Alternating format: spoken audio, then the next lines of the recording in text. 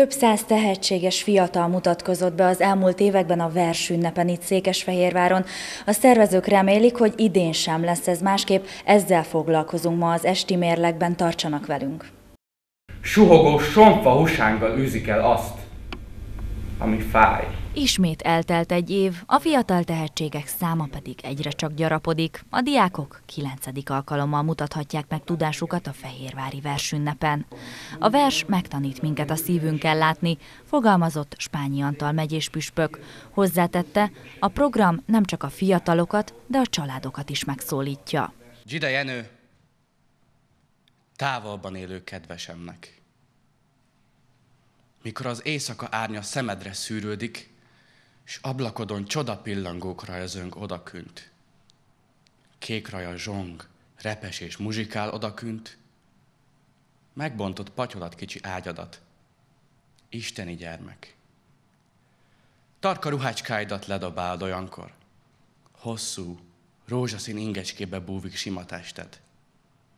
Előbb karjaidat és fejdet fúrod bele, majd zsönge csípődre csúsztatod, és combjaidat fölöd el. Én azt hiszem, hogy nem elsődleges cél az, hogy a hitre elvezessük ezeket a fiatalokat, inkább a cél az, hogy őket igazán jó emberré formáljuk, és a versek formálják az embert.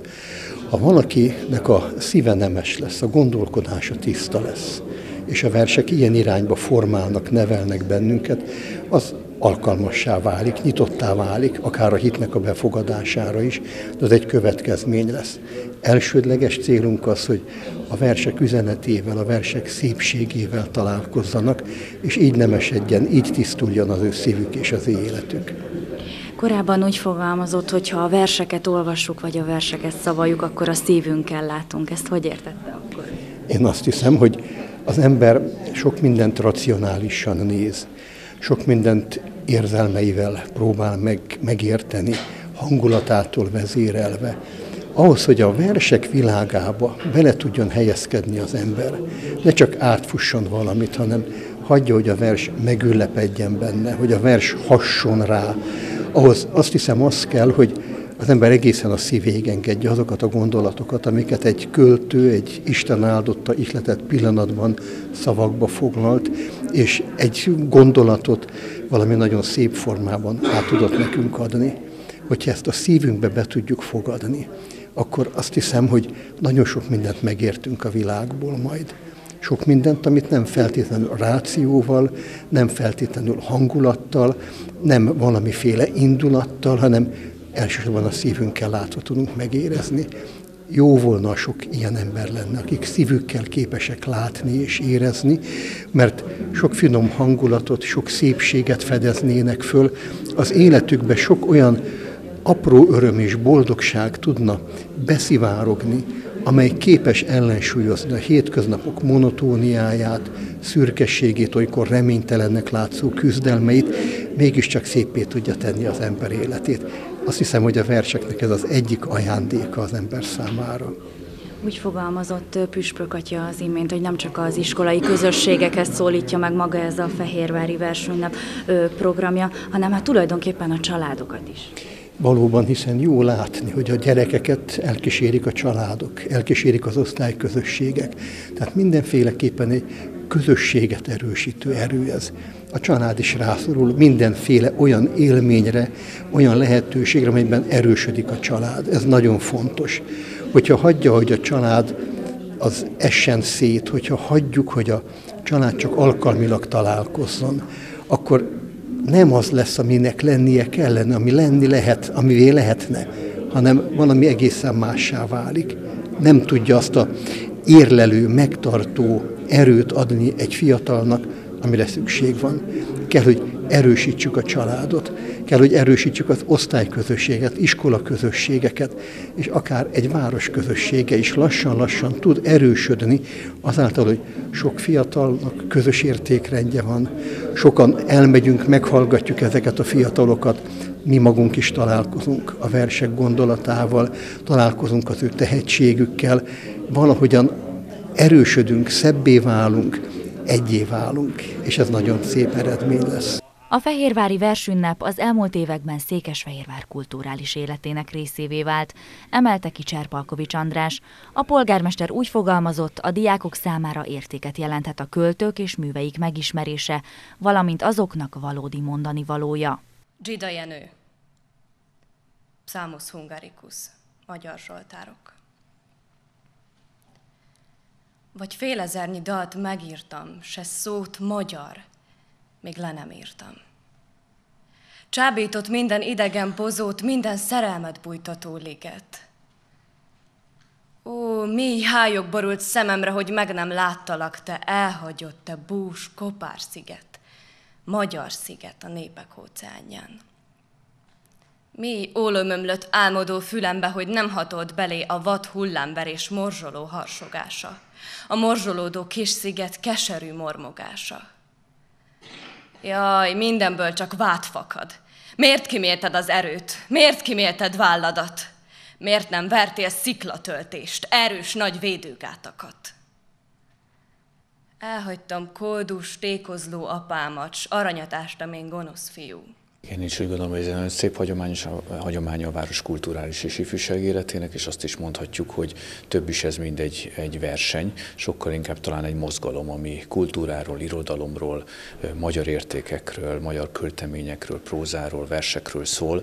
Ez gondolom, egy nagyon jó és visszatérő zsűri el Kubik Anna művésznő vezetésével, akik azt gondolom, hogy tényleg nem is inkább a zsűrik, hanem azt mondom, hogy, hogy szinte oktatói, tanítói, nevelői ezeknek a tehetséges fiataloknak. Nagyon sok tehetséges fiatal, és itt nem csak a győztesekre emlékezhetünk vissza, azt gondolom, nagyon jó színvel, hanem, hanem mindenkire, aki gyakorlatilag a döntőig eljut, mert jobbnál jobb, tehetségesennél tehetségesebb fiatallal találkozunk, akinek van mondani valója a világról, ezt a költeménye választáson és elmondásán túl át is adja számunkra, a zsűri számára is, és az is gondolom, hogy jó jelzi, hogy ez valóban egy mozgalom, hogy évről évre egyre többen jönnek el, akár az elődöntőre, akár pedig a döntőre, köszönhetően a Vörösmarty Színház színművészeinek is, akik mentorálják a fiatalokat, ami azt gondolom, hogy egy nagyon nagy tanulási feladat, és azt sem szabad elfelejteni, hogy azt gondolom, egy profi környezet veszi őket körül, tényleg koncentrálhatnak arra, hogy fejlődjenek, és ez nem csak a versenyre igaz,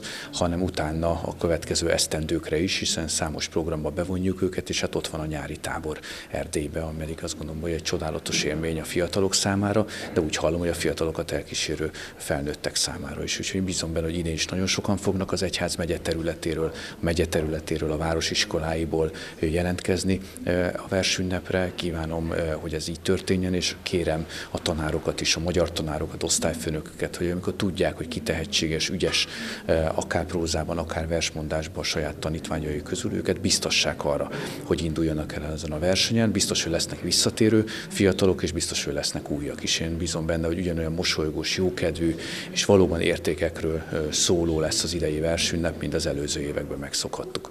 Van, erre akartam kitérni, hogy a polgármester úr az értékeket is nagyon fontosnak nevezte az imént az előző percekben, de ezek a fiatalok hogyan találhatják meg ezeket az értékeket, illetve miben rejlik maga az érték a versünnep kapcsán? Részben magukban a költeményekbe, azokban a fantasztikus írókba, költőkbe, akik ezeket megalkották, az ő mondani valójukkal, nyilván az ő történelmi korszakukra jellemző társadalmi, közéleti, politikai kihívásokkal, problémákkal, vagy értelemben történelmi korszakokkal, de szerintem legalább ennyire érték, hogy amikor leül egy diák a tanárával és kiválasztja a verset, felkészíti a tanár adott esetben, közöttük kialakul szerintem egy egész különleges viszony, ugyanúgy, mint kialakul ez a viszony a diák és a felkészítő mentoráló Vörösmarty Színházhoz tartozó művész részéről is. És szerintem ez mind-mind érték, ugyanúgy a zsűri átad ilyen értéket, akár a táborban, akár a felkészülés, vagy éppen a verseny idején, és nekem mindig az a titkos vágyam, hogy a jövőben, és most már hamarosan szerintem ez talán meg is történik, lesznek olyan fiatalok a Vörösmarty Színház társulatába, akik ebből a bizonyos versünnephez tartozó mozgalomból nőttek ki. A tehetséggondozó versenyt 2010-ben hívta életre a Fehérvár Média Centrum a Székesfehérvári Egyházmegyével, a város önkormányzatával, a Szent István Művelődési Házzal és a Vörösmarty Színházzal karöltve. Az ötletgazda Varga Sándor volt. Mint azt Hagymási András mondja, a tehetségek felkutatásán túl a programnak több célja is van. Pilinszki János, parafrázis.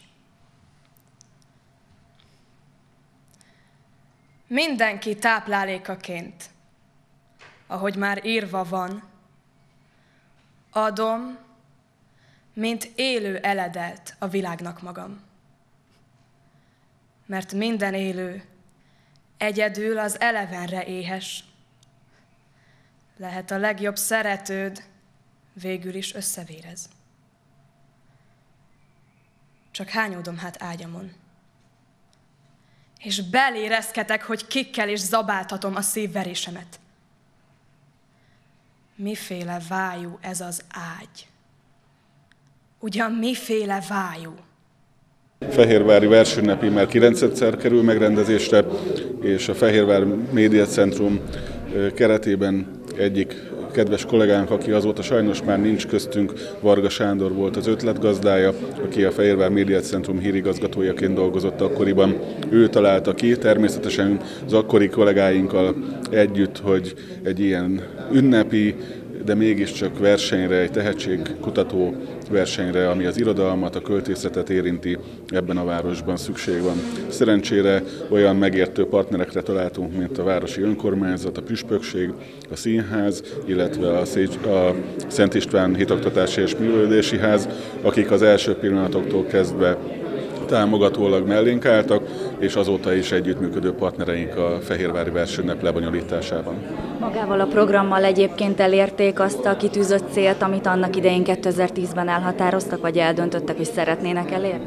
A tehetségek felkutatásán és támogatásán kívül nagy célja ennek a versenynek az is, hogy az irodalom, a költészet szeretetét úgy mutassuk be a városi, a környékbeli fiataloknak, hogy az egy igazi érték.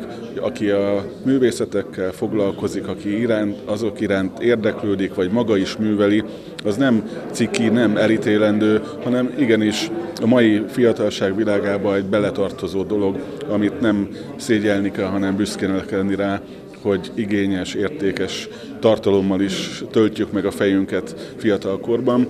Ez a verseny bebizonyítja, hogy erre igenis van igény, és azok a fiatalok, akik ebben a világban megtalálják a helyüket, azok a későbbiekben is egy értékes, tartalmas életpályára indulhatnak útnak. Ez számos példa bizonyítja, hiszen a korábbi versünnepek résztvevőiből, győzteseiből többen is vannak, akik már a művészi karrierjüket készítik elő, többen más olyan szakmákban állták meg a helyüket, aminek igenis van köze a kultúrához, a költészethez, például a médiában, és azt is láthatjuk, hogy akik a verseket szeretik, gyakran más művészeti ágokban is tehetségesek, hiszen az egyik tavalyi versünnep döntős, az a Fehérvár hangja zenei tehetségkutató versenyt megnyerte tavaly decemberben. Igazi tehetségeket találunk, gyöngyszemeket, akiket mi a magunk eszközeivel igyekszünk csiszolgatni. Úgy érzem, hogy jó úton járunk, ennek a városnak számtalan tehetséges gyermeke, fiatalja van, akik igenis megérdemlik a törődést. És még egy mondatot azzal kapcsolatban engedjük be egy kicsit a nézőket a kulisszák mögé. Igazgatóra azt tetszett mondani az imént itt a sajtótájékoztató keretében, hogy jövőre, vagyis a tizedik alkalommal egy kicsit szeretnék megreformálni magát a programot. Ez alatt mit értenek, szabad -e esetleg erről néhány mondatot tudnunk?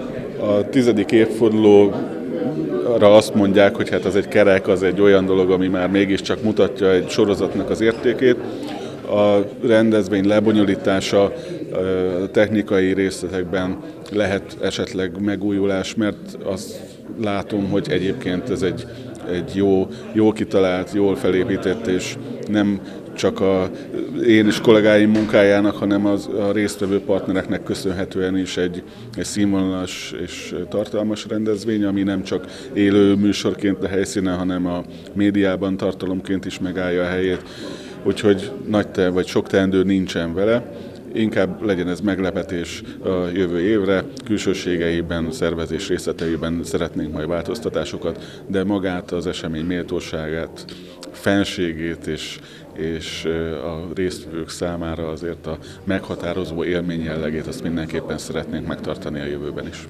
Köszönöm, András! A versenyre február 13-ától március 5-ig várják a 9-13. osztályosok jelentkezését. A fiatalok produkcióit idén is hozzáértő zsűri értékeli. A zsűri elnöke ismét Kubik Anna színművész lesz. A részvétel feltételeit, a versennyel kapcsolatos információkat megtalálják a www.versenynep.hu oldalon. Kedves nézőink, köszönjük szépen figyelmüket, ne kapcsoljanak el sehová, tartsanak velünk továbbra is viszontlátásra!